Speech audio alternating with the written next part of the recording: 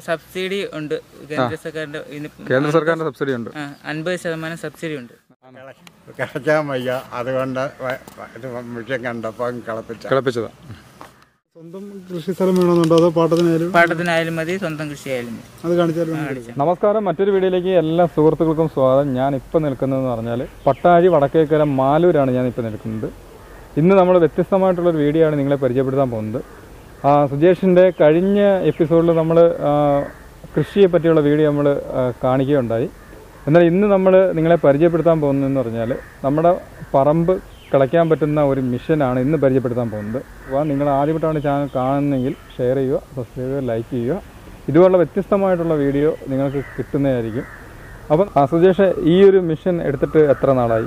ഇതിപ്പോ ഒരു മൂന്ന് വർഷമാവുന്നു ഇത് ഈ മിഷൻ എടുത്ത് ആ, എവിടെ നിന്നാണ് ഇത് ഇത് കടക്കിൽ ഫാമക്ക എന്ന് പറഞ്ഞൊരു കമ്പനിയാണ് ഈ അവിടെ നിന്നാണ് ഞാൻ അവിടെ നിന്നാണ് ഞാൻ ഈ മിഷൻ എടുത്തത്. എടുക്കുന്നത്. ഇതിന്റെ ഉപയോഗങ്ങൾ എന്തൊക്കെയാണ്? ഉപയോഗങ്ങൾ എന്ന് വെച്ചാൽ നമുക്ക് കൃഷിക്ക് ആവശ്യമായിട്ട് ഒരു ഒന്നര അടി രണ്ടടിക്കകത്ത് താത്ത് കിളച്ച് കൊണ്ടുപോകാൻ പറ്റും. കിളയും ചിക്ക് ഒരുമിച്ചാണ് ഇത് ചെയ്യാൻ പറ്റും. പിന്നെ കരയാണെന്നുണ്ടെങ്കിൽ പത്ത് സെന്റ് പത്ത് സെന്റ് പത്ത് സെന്റിനകത്ത് കളിക്കാൻ പറ്റും. സുഖമായിട്ട്. ഏഹ് കണ്ടവാണെന്നുണ്ടെങ്കിൽ കണ്ടമാണെന്നുണ്ടെങ്കിൽ ഒരു പതിനഞ്ച് സെന്റിന് മേളിൽ കളയ്ക്കാം. ഒരു മണിക്കൂർ. ഒരു മണിക്കൂർ. ഇത് അവർ വീട്ടിൽ നമ്മൾ കൊണ്ടു തരുമ്പോൾ തന്നെ അവർ തന്നെ നമുക്ക് ട്രെയിനിങ് ആയിട്ട് ചെയ്തു തരും. ട്രെയിനിങ് ആയിട്ട് അവർ തന്നെ നമ്മൾ ഓടിപ്പിച്ച് നമ്മുടെ കൈ ബാലൻസ് ആക്കിയിട്ട് അവർ പോവുള്ളൂ. ഫാമക്കാർ നല്ലപോലെ ഓടിപ്പിച്ച് പിന്നെ അവർ ഓടിച്ച് കാണിക്കും. പിന്നെ അതുപോലെ നമ്മളെ കൂടെ ഓടിപ്പിക്കും. എന്നിട്ട് എല്ലാ കാര്യങ്ങളും പറഞ്ഞു തരും. അവർ ഓടിച്ച് നമ്മുടെ കൈക്ക് ഒരു തഴക്കം ഒരു ബാലൻസ് ആയിട്ട് അവർ പോവുള്ളൂ. ഇത് നല്ല കഷ്ടപ്പാടാണ് ഇത് പഠിച്ചെടുക്കാൻ വേണ്ടി? ഒരു കഷ്ടപ്പെടില്ല നമ്മൾ ബൈക്കൊക്കെ ഓടിക്കുന്നതിനേക്കാളും സിമ്പിളാണ് ഇതിനകത്ത് ബ്രേക്ക് എന്ന് പറഞ്ഞ ഈ സാധനം താത്ത് കൊടുത്താൽ മാത്രം മതി. പിന്നെ ക്ലച്ച് മാത്രമേ ഉള്ളൂ. പിന്നെ ആക്സിലേറ്റർ ആണ്ട് ഇത്. ഇത് പിന്നെ എമർജൻസി എമർജൻസി ബ്രേക്കോ എമർജൻസി ബ്രേക്ക് ഈ സ്റ്റാർട്ട് ആക്കുന്നതും ഇത് സ്റ്റാർട്ട് ആക്കുന്നത് പിടിച്ചിട്ടിട്ട് സ്റ്റാർട്ട് ആക്കുന്നത്. അല്ലെങ്കിൽ പിന്നെ നമ്മുടെ കയ്യിൽ നിന്ന് എങ്ങാണം വല്ല പിന്നെ വേരെങ്ങാണം വലിയ വേര ചെറിയ വേരൊക്കെ അടിച്ച് പോകും പോവും. പിന്നെ വലിയ വേരിലെങ്ങാണം കുരുങ്ങു വന്നെങ്കിൽ നമ്മുടെ കയ്യിൽ നിന്ന് മിഷൻ മെഷീൻ വിട്ടു പോവാണെങ്കിൽ ഇത് പിടിച്ച് അടിച്ചു കഴിഞ്ഞാൽ കഴിഞ്ഞ് വണ്ടി ഓഫ് ആയി ഓഫ് ആയിക്കോളും ഓക്കെ. വണ്ടി ഓഫ് ആയിക്കോളും. പിന്നെ ഇത് ക്ലച്ചാ. ചെറിയ ഡേഞ്ചർ ഏറ്റവും കൂടെ ഇല്ലേ നമ്മളെ സൂക്ഷിച്ചില്ലെങ്കിൽ. ഡേഞ്ചർ ആയിട്ടൊന്നും കയ്യിൽ നിന്നും ഇതുവരെ എന്റെ പോയിട്ടില്ല. അങ്ങനെ പോകത്തില്ല. പോയിട്ടില്ല. ഉം. പോയിട്ടില്ലെന്ന് വെച്ചാൽ പിന്നെ നമ്മളിപ്പോൾ ഇതിനകത്തൊക്കെ അഭ്യാസം കാണിച്ചു കഴിഞ്ഞാൽ പോവും. നമ്മളിപ്പോൾ ഇങ്ങനെ ഓടിച്ചോണ്ട് പോവാ. ഓടിച്ചോണ്ട് പോകുന്ന വഴിക്ക് ഒരാൾ പിന്നെ ആരെങ്കിലും കാണിക്കാനോ ഒക്കെ വെച്ചിട്ട്. ഓടിച്ചോണ്ട് സിമ്പിളായിട്ട് ഇങ്ങനെ ജസ്റ്റ് ഒന്ന് പിടിച്ചങ്ങ് പോയാൽ മതി. അപ്പോൾ അപ്പം ഇത് വിട്ടിട്ട് പോയാലും വണ്ടി പോകും വണ്ടി മുമ്പോട്ട് പോകും വിട്ടിട്ട് പോകുമ്പോൾ അവിടെ കാണാൻ വേറെ എന്തെങ്കിലും കുരുങ്ങുവാന്നേ എടുത്തടിക്കും തിരിച്ചങ്ങടിക്കും നമ്മുടെ കയ്യിലും കയ്യിലെങ്ങാനും കുരുങ്ങുവാന്നേ നമ്മളെ എടുത്ത് കളയും. കളയും. നമ്മൾ സിമ്പിളായിട്ട് നിൽക്കുവാണെങ്കിൽ ബ്രേക്ക് കൊള്ളിച്ച് നിർത്തുക മാക്സിമം താഴുകയും ചെയ്യും. എന്ന് നമ്മുടെ കയ്യിൽ നിന്നും പോകത്തില്ല സിമ്പിളായിട്ട് നടന്നു പോയാൽ മതി. Okay okay. അപ്പോൾ ഇതിന്റെ മെയിൻ ബ്രേക്ക് എന്ന് പറയുന്നത് ഈ കാണുന്നതാണ്. ഇതാണ് ബ്രേക്ക് ഇതാണ് ബ്രേക്കർ ഇവനെ താത്ത് വെച്ച് കഴിഞ്ഞാൽ ഇങ്ങനെ ഇവനെ താത്ത് വേണം ഓടിക്കാൻ എപ്പോഴും? അതോ ഓടിച്ചിട്ട് നമുക്ക് ഇത് താഴുന്നതിനനുസരിച്ചാണ് ഫ്രണ്ടിലത്തെ ബ്ലേഡ് താഴ്ന്നത്. താഴ്ന്നത്. ഓക്കെ. അപ്പോൾ നമുക്ക് ഇതൊന്ന് സ്റ്റാർട്ട് ചെയ്ത് നോക്കിയാലോ? നോക്കാം. ആ അപ്പോൾ സ്റ്റാർട്ട് ചെയ്ത് നോക്കിയിട്ട് നമുക്ക് ഇതിന്റെ ഇതെങ്ങനെയാണ് കളിക്കുന്നതെന്നൊക്കെ നമുക്കൊന്ന് നോക്കാം. ഇത് റിവേഴ്സ് ആ. ഇത് റിവേഴ്സ് ഇത് റിവേഴ്സ് ഇത് റിവേഴ്സ് ഇത് ക്ലച്ച് ക്ലച്ച് ഇപ്പോൾ സ്റ്റാർട്ടിങ് അതിന്റെ എവിടെയാണ് അതിന്റെ സ്റ്റാർട്ടിങ് ഫ്രണ്ടിൽ സ്റ്റാർട്ടിങ് ഫ്രണ്ട് ഇതെന്തോ ഇത് കാണുന്നത് ഇത് ഗിയറാണ് ഇത് ഗിയർ ഇതിന് ഗിയറും ഉണ്ട്. ഗിയർ ഉണ്ട്. എത്ര ഗിയർ ഉണ്ട്? രണ്ട് ഗിയറും ന്യൂട്രും ഉണ്ട്. ന്യൂട്രും ഉണ്ട്. ഓ. മറ്റേതെന്തോ ഇത് ഹാൻഡിൽ അഡ്ജസ്റ്റ് ചെയ്യണം?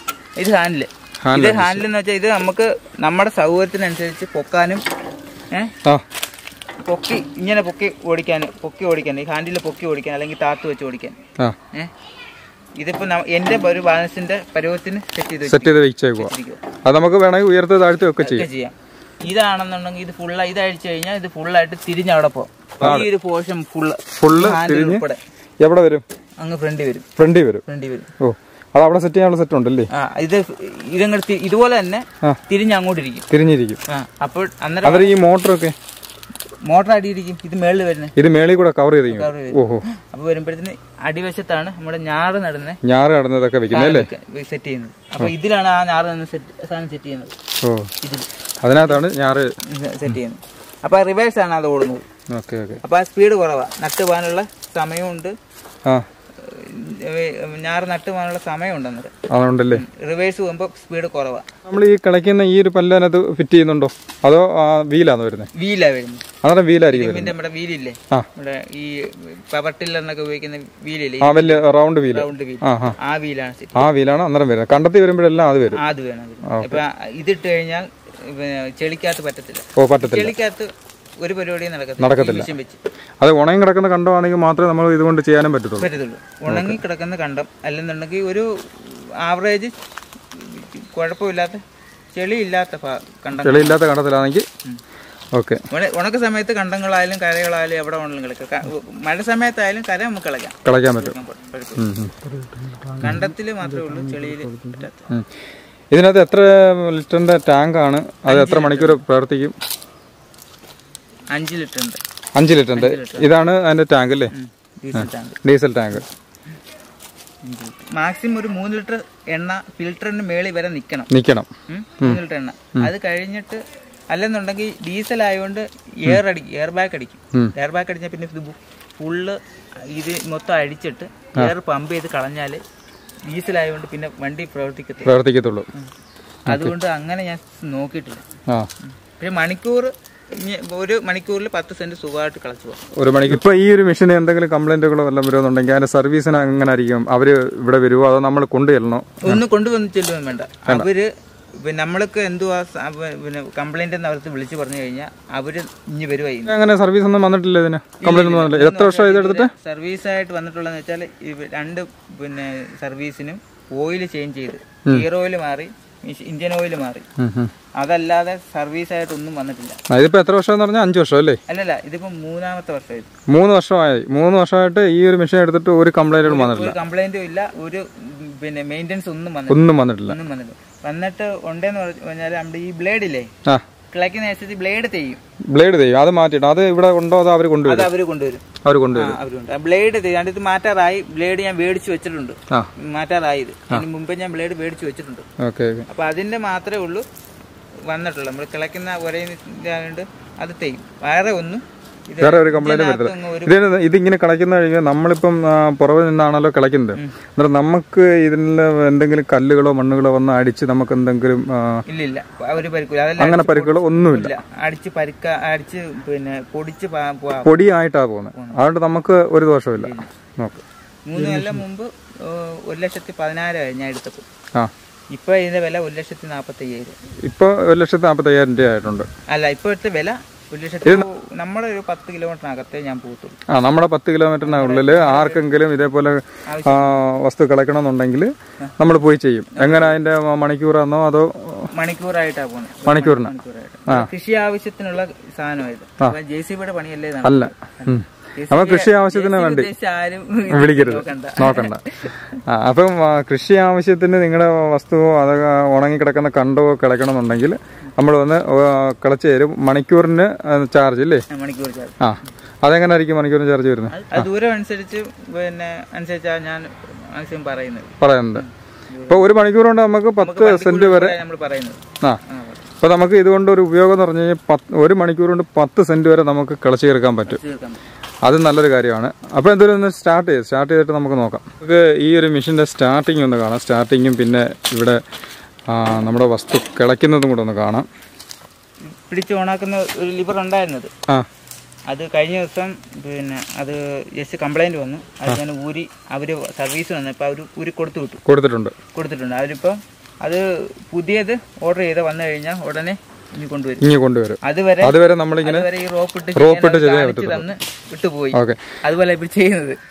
ഇത് ചുറ്റുന്ന ആ സ്റ്റൈൽ തന്നെ കണ്ടോ? ഇത് അതിന് ഈ ഒരു സൈഡിലോട്ട് മാത്രമേ ചുറ്റാവൂ. തിരിച്ചു ചുറ്റി കഴിഞ്ഞാൽ അതിനകത്ത് പുതിയ മെഷീൻ ഇത് അല്ല മറ്റേ അതുകൊണ്ട് സാധനമുണ്ട്. ഉണ്ടല്ലേ? നമ്മളിപ്പോ ഇത് അത് കംപ്ലൈന്റ് ആയതുകൊണ്ടാണ് അവർ പുതിയ മോഡൽ വരുമ്പോൾ അത്രയും മാറ്റങ്ങൾ വരും.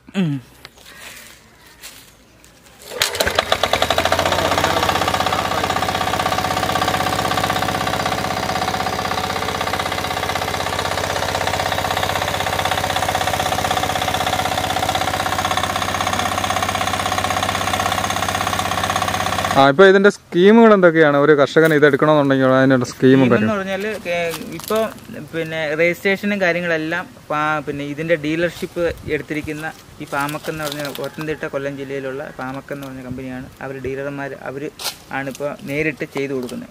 ഇതിന്റെ സ്മാമിന്റെ രജിസ്ട്രേഷനും മിഷന്റെ കാര്യങ്ങളെല്ലാം പിന്നെ അവർ വീട്ടിൽ കൊണ്ടെത്തിച്ച് തരുക ചെയ്യുന്നത്.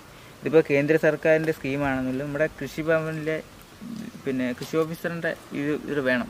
അപ്പം ഇതിന് നമുക്കിപ്പം കൃഷി ഭവനിൽ നിന്നൊക്കെ നല്ല സപ്പോർട്ടാണോ? കൃഷി ഭവനിലൊക്കെ നല്ല സപ്പോർട്ടാണ് എനിക്ക്.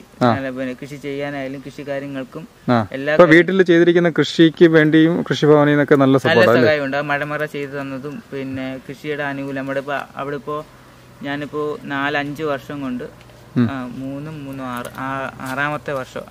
അപ്പോ ആറ് വർഷം കൊണ്ട് അവിടുത്തെ ലീഫ് ഫാർമറാണ്.